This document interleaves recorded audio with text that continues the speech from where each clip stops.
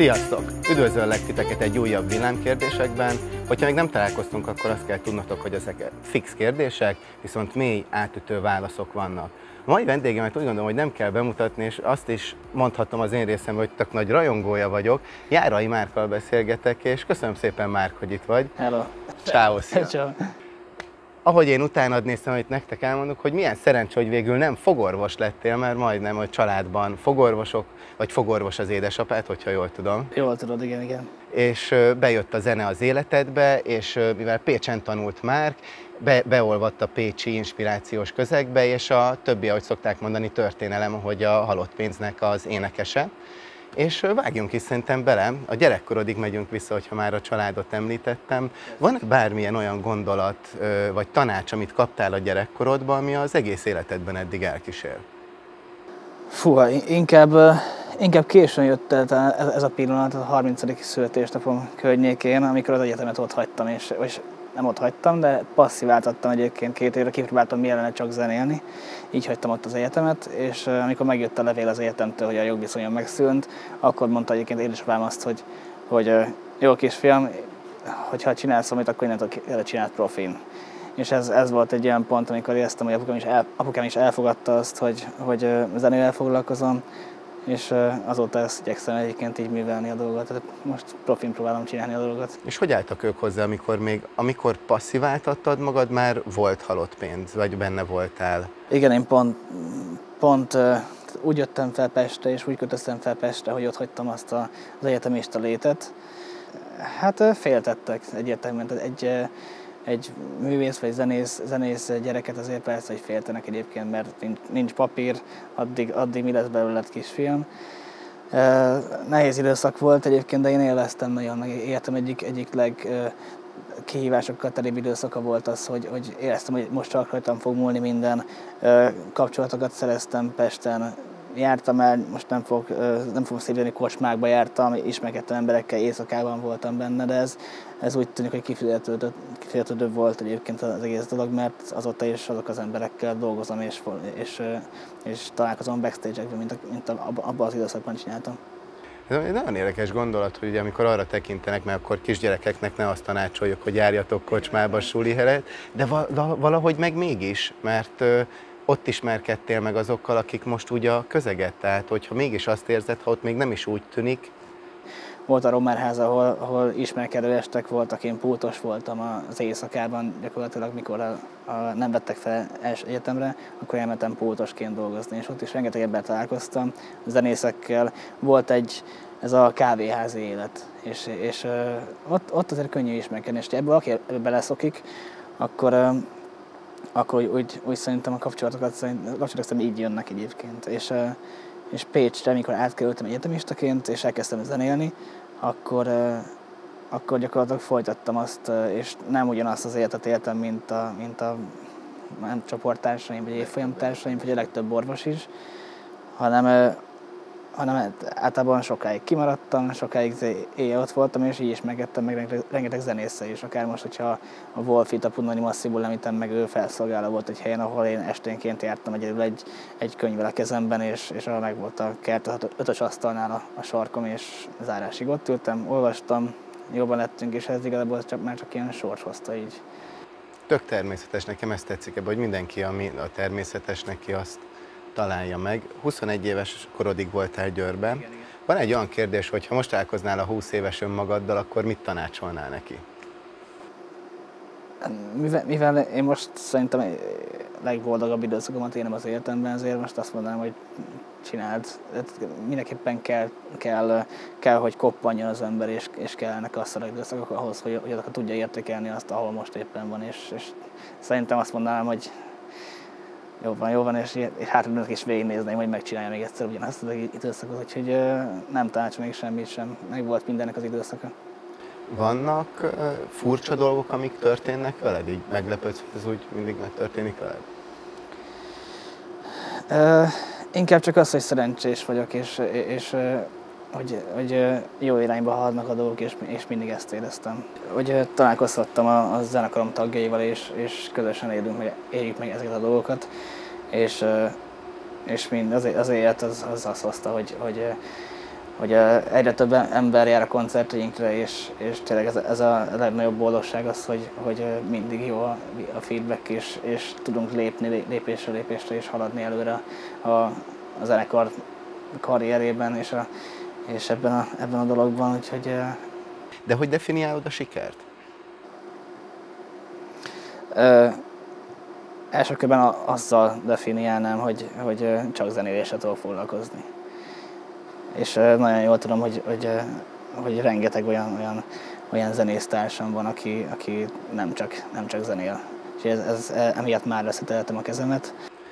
Van olyan, amit mondjuk magadba cikinek érzel, és hogyha van, ha volt mondjuk, hogy változtattad meg, vagy hogy léptél túl rajta, fogadtad el?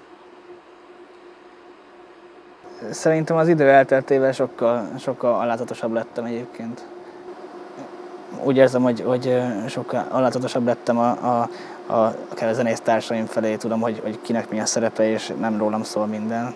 Ez els, első körben talán ez volt, hogy, hogy kicsit nagyobb volt az egóm, és, és azt éreztem, hogy, hogy, hogy énekesként nekem nagyobb szerepem van a dologban, mint, mint, mint, mint, mint, hogy arra, arra, abba gondolják bele, hogy ez egy csapat de ez, ez nagyon rövid, rövid ideig tartott, ez, ez tényleg csak egy ilyen első ilyen, ilyen fél év vagy egy év, amikor le kellett vetkőznöm azt a dolgot, hogy én nem, a, nem az énekes, énekes srác vagyok, aki, aki meghozta a sikert az egésznek. Ez, ez hibám volt, ezt tudom. A következő kérdésem, akár ez is lehetne rá egy válasz, hogy van-e egy olyan dolog, amiben megváltozott a, a, a gondolatod, ahogy hozzáállsz a dolgokhoz? Hát most ezek 33 éves, úgyhogy gyerek sok minden változott egyébként az elmúlt évek során. Főleg az, hogy, hogy is a színpadon vagyunk és bulit csinálunk, ez nem egy buli. Tehát ez, ez egy kőkemény meló, és, és ebben, ebben el lehet fáradni.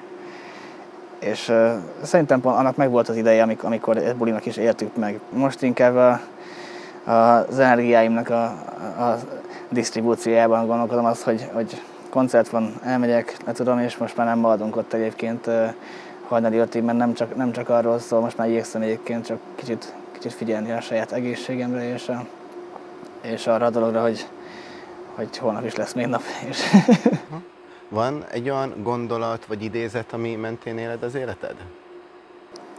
Fú, hát biztos, hogy van. Van egy, van egy kedvenc idézetem egyébként, és ezt a Dávid szoktam mondani, hogy Dávid mondta egyszer-kétszer. És ez egy afrikai közmondás, és úgy szól, nem biztos, hogy pontosan így szól, de úgy szól, hogyha, hogyha gyorsan akarsz menni, akkor menj egyedül, hogyha messzire akarsz jutni, akkor menj együtt másokkal. És ez, ez szerintem a zenekar, a zenekar ez szerintem nagyon-nagyon nagyon erősen érvényesül. Zenekarnak. Van-e olyan dolog, amiben te szentül hiszel, de még úgy nem nagyon tudod bizonyítani, hogy az úgy van? Hát nekem most első az, is, az a, a sulis kihagyáson jut egyébként eszembe. De, hogy én, én, én szeretnék még, még foglalkozni, a, ha már 7 éven keresztül tanultam az orvosin, az, azzal a, azzal a tudás, tudással szeretnék még foglalkozni egyébként. És, és lehet, hogy nem, nem nem biztos, hogy egyébként ez menni fog, és nem, nem, leszek, még, nem leszek fogorvos, ebben biztos vagyok egyébként, mert, mert azt nem szeretném, és sokkal, sokkal jobban szeretném a biológiával foglalkozni. Én uh, TD-keztem három éven keresztül molekuláris biológia intézetben, és, uh, és lehet, hogy ezzel, ezzel még, még fogok amit kezdeni, de le, lehet, hogy nincsen igazam, és sosem, sosem jön ez a pont. Megfordítom a kérdést, hogy Látsz egy olyan tanácsot, vagy amit az emberek így mondanak a világba, hogy ez, ez így van, ez oké, okay, de szerinted egy oltári nagy baromság? Mint rólam? Vagy nem, nem, nem, nem rólad, azt is elmondhatod, de hogy, hogy úgy általában, hogy mit ezt tanácsolják, vagy így gondolják, de szerinted ez hülyeség? A, az a gondolat van bennem, és illetve az a, az a sztereotípia van bennem, mikor ugye sokan gondolják azt a, a fellépőkről, illetve az akik rajonganak, hogy, hogy ők teljesen másik életben élnek. Tehát, hogy, de ettől függetlenül, azt, mint mondtam, számukra ez egy, ez egy munka, és rengeteg, rengeteg meló van mögötte, ennyire akár egy malterozhatnék is egyébként, de nyilván nem, tehát nem. de, de hogy mindig, mindig furcsa egyébként szembesülni azzal, hogy mennyire más, más az emberek fejében, akár rólam. hogy, hogy hát te itt ilyenkor a, a villamoson megjelensz, és, és csomószor van, hogy négy hatosan ott állok egyébként, kapaszkodokat ott be, és így, hát te, hogy, hogy te, te, te, te itt tömegközlekedsz. Köztünk hát, vagy. Igen, és ez, ez nagyon furcsa dolog, hogy, hogy, hogy hát eleve nem tartom magam egy, egy sztár, sztáralkatnak, tehát nem, nem vagyok az a tipikus az a celeb jelenség. Igen, ez, ez egy furcsa dolog volt, meg, de az, az egy másik dolog, hogy hogyha fotót kérnek, vagy, vagy aláírás kérnek, az mindig ilyen baromi jól esik. Mire gondolsz, amikor tök izgatott leszel, ami, ami izgalomba hoz az életbe? Ugye én mindig, mindig egyedül terveztem, a, x évvel ezelőtt, az, hogy én majd egy szágitárral majd, majd csinálok egy ilyen csatamásos, vagy ilyen, ilyen singer-songwriter, ilyen, ilyen, ilyen, ilyen karriert, és ugye jött a Dávid és jött a Boom, és, és, és emiatt mindig izgatott leszek egyébként, mert, mert úgy érzem, hogy a felelősség, amit egyébként a Dávid, illetve a zenekar le, levett a vállamról, hogy kicsit most akkor rajtam fog múlni minden. És emi, emiatt az izgulok, de ez, de ez pont, hogy, hogy szerintem a, a jókor jön, mert most, mostanra szereztem annyi tapasztalatot, ami, ami miatt ezt, ezt meg fogom tudni csinálni. És esténként, hétvégenként, amikor nem fellépés van, milyen szenvedélyeknek élsz? Az első körben a gasztrómia az, az ami egyébként nálam, nálam a hétköznapok részévé vált. Ez kezdődött a, a borral, csináltam vizsgákat, rengeteget jártam el borbárokba, borkostolókra, vakkostolókra, ilyen, ilyen boros eseményekre. Aztán elkezdtem, mindig is szerettem főzni, nagyon pici koromban még, még szakács is akartam egyébként lenni. Apukámmal ketten voltam, egy, egyedül otthon, míg nővérem egyetemen volt, és csomószor én váltam egyébként kajával, már, már 8-9-10 évesen, és én főztem, úgyhogy nagyon-nagyon megszerettem a, a gasztrómiát. És most egyre inkább főztem. Nemrég volt egyébként egy, egy, egy vacsora estem, és amikor egy ismerősemmel főztem, és 15 emberre főztünk, egy kicsit túláltuk magunkat, kicsit extra volt a kaja, és kihűlt mire odaért egyébként az asztalokhoz, de, de minden esetre jó élmény volt, legközelebb lecsort csinálok, szerintem azt már biztos, vagy nem tudom, valami rakottunk, hogy egy telétel, de, de egy telétel. Úgyhogy ez, nekem ez az egyik szenvedélyem. Az előbb belét folytottam a szót abba, hogy, hogy végül is hogy lett Járai Márk, hogyha hogy annak a, az életedben mik voltak azok a főbb döntési pontok, ami által azzá váltál, aki vagy? Óha, én, Led hallgattam otthon, és emiatt kezdtem meg gitározni. Nem tudtam elveszni a zenélést az, az orvosi, orvosi tudattól, mert egy biológia ötösért kaptam a gitáromat. Tehát amikor így meg volt az ötösen, akkor kaptam egy gitárt És ott viszont a, az, hogy én nem én leszek a világ legjobb szólógitárosa, az, az elcsapott abban, hogy egy tök jó akusztikus gitár, gitáros számokat is énekelni, rádudorászni, és nekem a Csetamás volt a nagy-nagy kedvencem. És, és, és máig nekem, hogyha valaki azt mondja, ki, ki az ikonom, akkor le, lehet, hogy ott, ott van azért a top 3-ban egyébként a John Dallon is, de nekem Csetamás egyébként az első. Nekem nagyon-nagyon sokat adott, és, és nagyon-nagyon máig rengetegszer van az, hogy, hogy, hogy feleségem elmegy a, ház, a hálószobába, és én, én pedig kimaradok a nappaliban, és, és hajnali ötig csatamásokat hallgatok a fülesre a fejemben, és, és, és felvételeket nézek róla. Ez, ez, ez, ez, ez mai, mai napig még ez van. A bárokban játszottam, és, és, és az, hogy emiatt problémák voltak az egyetemen, ahogy emiatt én pánikbetegséggel küzdöttem, mert problémák voltak az egyetemen, és ami miatt engem kicsaptak egy vizsgán, ami miatt én passziváltattam, mert nem bírtam tovább, és, és amiatt nem mentem vissza. És gyakorlatilag ez, ez, ez, volt, a, ez volt az én sztorim. Erős. Ja.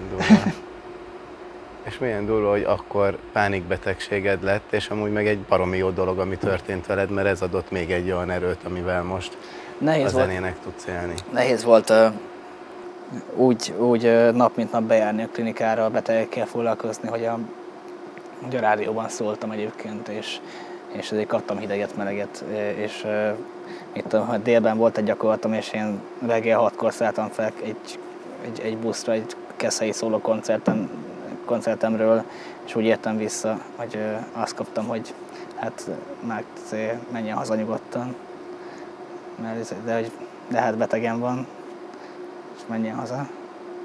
Akkor az, az a nehéz volt egyébként ideálni, mert akkor hát hazamentem, és akkor idő után pedig, pedig elkezdtem járni pszichiáterhez, vagy pszichológushoz, és, és ezt megbeszéltük a dolgokat.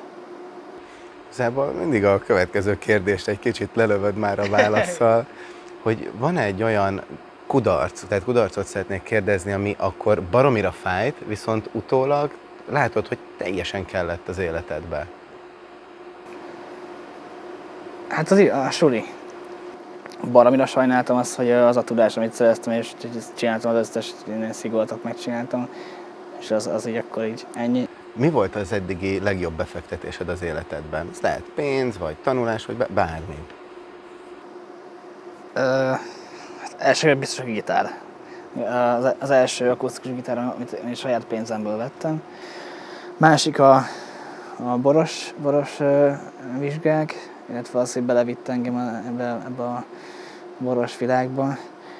Ha foghatnál egy óriás plakátot, és bármit írhatnál rá, bárhova helyezhetnéd, mit írnál rá, hova tennéd? Hát jöjjenek a koncertjeink, de, de hál' Isten nem én írom egyébként rá. Van olyan könyv, amit sokat ajándékozol?